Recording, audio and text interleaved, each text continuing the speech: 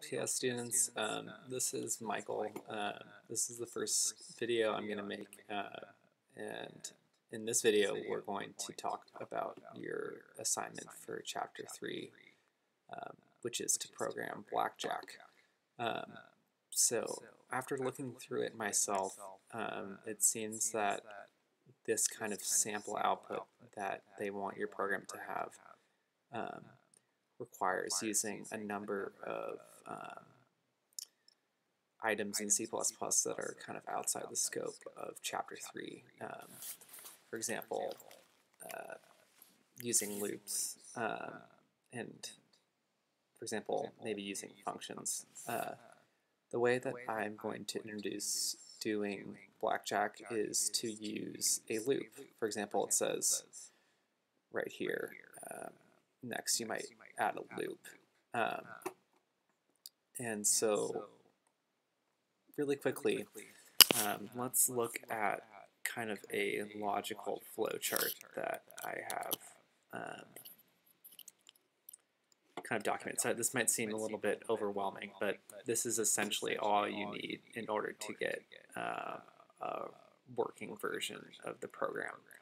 So um, I'll include this blackjack flowchart along with the YouTube video. Um, and inside of this uh, Google drawing, it has links to um, everything you would need in order to properly um, do this assignment. So I have a link to um, using while loops, um, the random function, um, if statements, as well as the cout and cin stream object um, objects in uh, C++. So let's just quickly, before I go through this entire flowchart, let's just see what um, a working version of the program would look like. So uh, I'm going to move into uh, one of my programming environments, and you can see right here, uh, when you want to start your code, you want to see um, in the console a welcome statement. And what happens in my program is that I am dealt my first two cards. I get a 4 and then a 9, so my total is 13. And then it prompts me, do I want another card?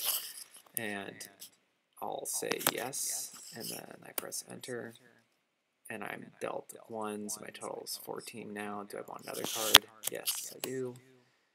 Alright, I'm dealt three, my total 17. Do I want another card? I'm feeling risky, so yes.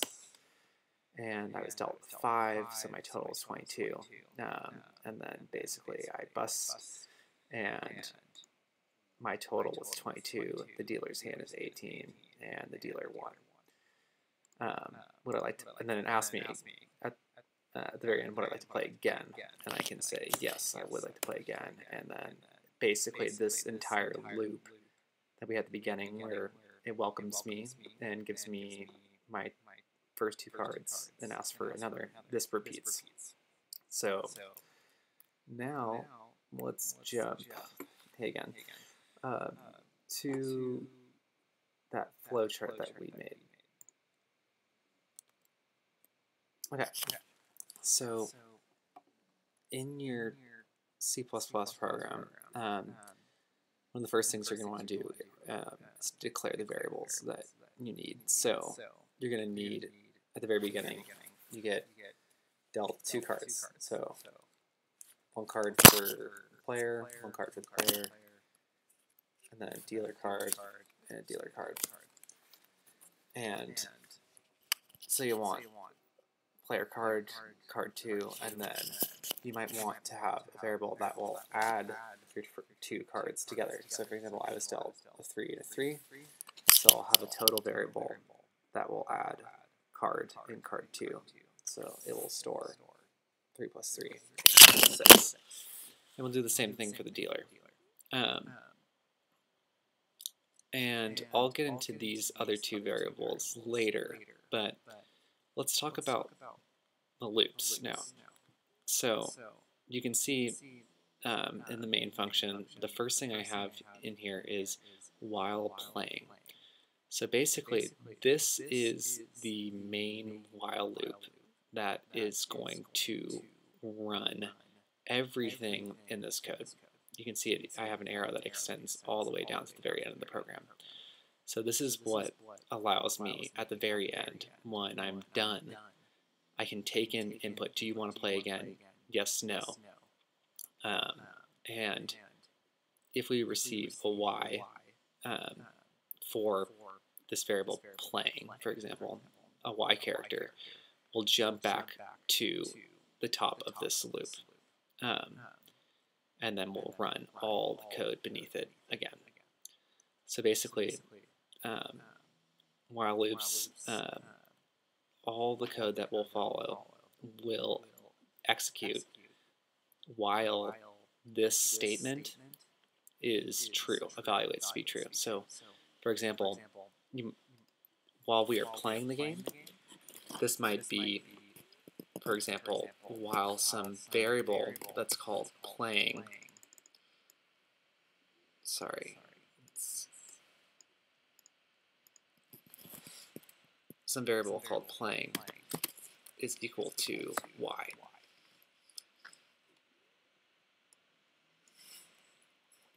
Um, so what we could do is we could have this be a um, a character uh, variable, and when it is equal to y, we can run through all of this code.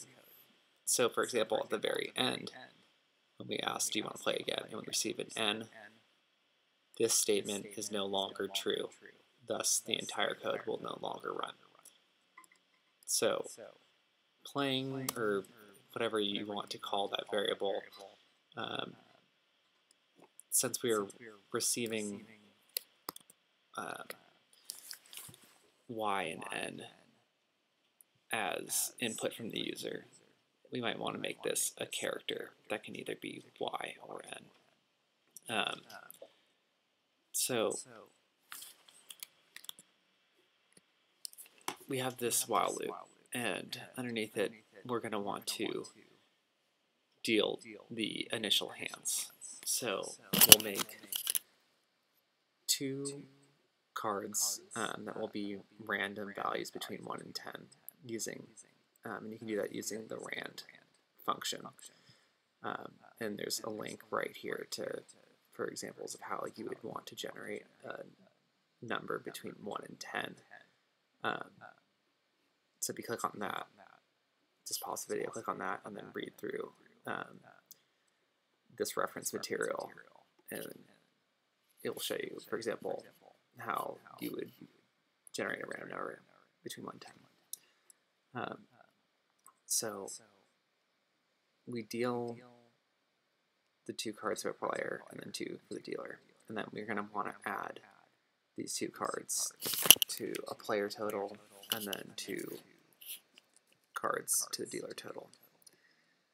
Um, and then we're going to want to add another while loop. And what this is going to do is, this is kind of, this will run all the code for dealing a single card. So while dealing equals a certain character, we will run through all the code that is included underneath this arrow. So let's assume that this is, you know, while dealing equals equals y at the very beginning. And then we're going to send output to the user. Do you want a new card? Yes or no. Um, and in order to do this line, you're going to need to use the cout and cin stream objects. And you can find reference material um, on how to use them over on the links. So if we receive a Y, we're going to want to deal uh, another card for our player. So now they have three cards. And then Thus, we'll want to recalculate the total. And every single time we deal another card, we're going to want to include an if statement too. And we're going to want to see if their total has gone over 21. Um, if they does if the total it does go over 21, we're going to want to break out of this entire uh, while loop by including a break statement. So you can look up um, how to use a break statement also in the reference materials. But basically what it does is it just stops executing any of the following lines of code and it will break out of the while loop um, right here. So basically what this will allow us to do, this while loop, is we can continue to ask for another card by clicking Y and then Y again, assuming that we're under 21, assuming our total is under 21. Um, so what dealing is going to be is it's going to be something similar to playing, where it, it is in, um, declared as a char, a character um, variable. Um, so once we are done with this while loop, the dealing loop, um, we'll, we'll assume that we have um, basically taken as many cards as we feel comfortable doing um, without um, going over 21. So then after the player receives all their cards, um, we're going to want to implement a dealer strategy right down here, which basically will be that the dealer will receive another new card um, if their total is um, less than 17. So while their total is, let's just say, less than 17, not greater than, um, add another card to their total. So we're going to use another while loop um, in order to implement the dealer's strategy, um, which will be that we'll just generate a random um, card, a number between 1 and 10, and add it to their total um, while their total is less than 17. Um, so let's assume I have the dealer's cards right now, and coincidentally, it's actually 17. So um, let's just take a different example. So let's say they have a 7 and a 3, um, which equals 10 in total. So we'll have a while loop in here, and it's going to say while the dealer's total is less than 17, um, and then underneath that while statement, um, what it will do is add a random number to their total. So their total is currently 10. So um, while their total is less than 17, that is equal. That is a true statement. So we're going to add another random number to that, which is a 10. So now they are at 20. And our code will jump back to this while statement and it'll say, is the dealer's total less than 17? And that's false. So we jump out of that while loop and we are done with the dealer strategy. So hopefully that makes sense um, and that's clear. Um, finally, so once we're done with the dealer strategy and we've dealt all the cards for our player, we need to see who won um, between, we need to see if the player or the dealer has won. And what we'll do is we're going to um, compare the totals of the dealer and the player. So there are three possible scenarios. Um, there's a winning scenario, a tie scenario, or a loss scenario. And basically what these will be is they're all going to just be um, if statements that are comparing, oh, if the total is less than the dealer's total, um, or if the total is equal to the dealer's total, or if the total's uh, greater than the dealer's total. Um, and you'll just need to account for all three of these outcomes, and then you're going to want to send a message to the um, console saying, you know, congratulations, you won. Um, or also just say what, you know, your total was blank, the dealer's total was blank, um, you won, or you lost, or you tied. So you can handle all three of these um, scenarios at the very end um, using if statements. And there are plenty of reference materials under this link um, that will show you syntactically what you would want to write for an if statement. And then finally, the last line we're going to want to include is we need to ask the player if they want to play again. And we're going to send an output message, and then if they type in a Y, um, we're going to want to assign um, whatever the player inputs to our playing variable. We're going to want to basically say um, send the um, this cin object and assign it to this uh, character variable called playing. And um, if it is a y, if it's equal to a y, this initial while loop that's containing the entire game will rerun, basically. Um, because while playing is equal to y, everything below here will run again. So this is basically the thing that kind of re-loops the entire game and will restart the entire game. Whereas if it's an n, the entire, basically there's no more code left to run in the program and it will just kind of stall. Uh, so again, I'm going to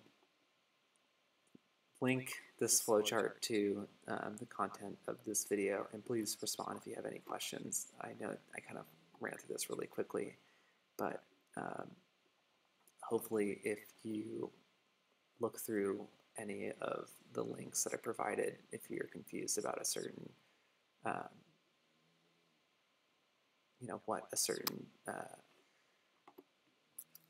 piece of code is doing.